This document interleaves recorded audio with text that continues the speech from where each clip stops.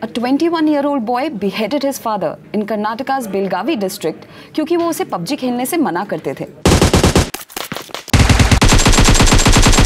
ऐसा नहीं लगता कि हर हफ़्ते किसी ना किसी को हार्ट अटैक आ जाता है पबजी खेलते खेलते, या फिर कोई सुसाइड कर लेता है जस्ट बिकॉज़ उसे पबजी नहीं खेलने दिया गया। To me it seems like the entire country wants PUBG to be banned I mean excess of anything in life is bad right then why just blame PUBG?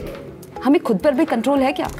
हाँ कुछ हद तक the scare is legit क्योंकि India में daily 13 million लोग PUBG खेलते हैं और एक महीने में 20 से 30 मिलियन और तो और, PUBG mobile downloads have doubled in the past six months reaching 400 million so yes gaming addiction is a real problem ये गेम्स डिज़ाइन ही इसी तरह से की जाती हैं कि तुम घंटों तक खेलते रहोगे विदाउट इवन फीलिंग हंग्री और टायर्ड क्यों?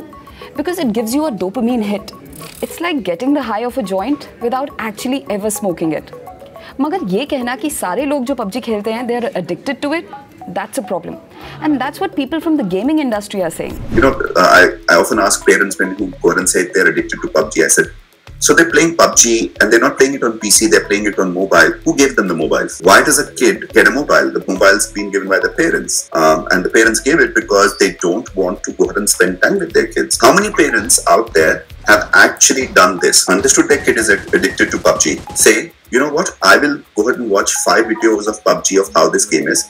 I'll learn how to play PUBG and I'll squad up with my kid every day for two hours a day. Enjoy the fact that you're spending time with your kid. Uh, You'll go ahead and watch 12 hours of, I don't know, uh, hunger, uh, sorry, sacred games. The day it comes out, you'll take an off from work to go ahead and do that. And when your kid goes and does that on PUBG, it's wrong. But you do it, it's right.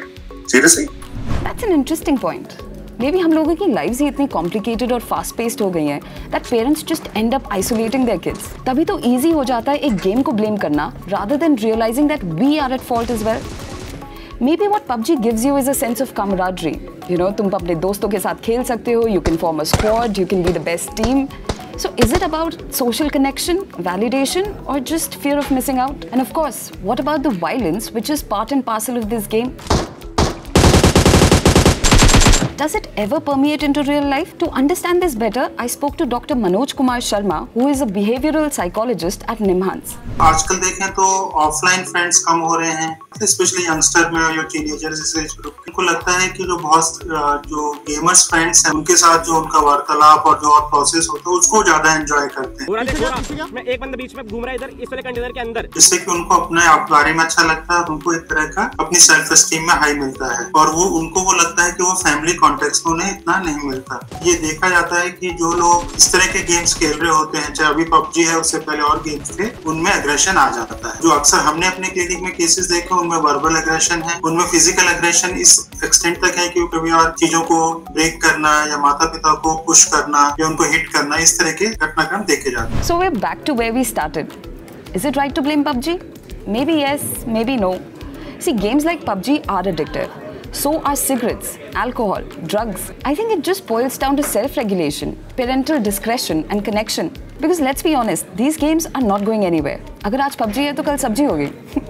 anyway, I'm just thinking aloud. What do you think? Tell me in the comments below. And if you like this video, share it and subscribe to India Times.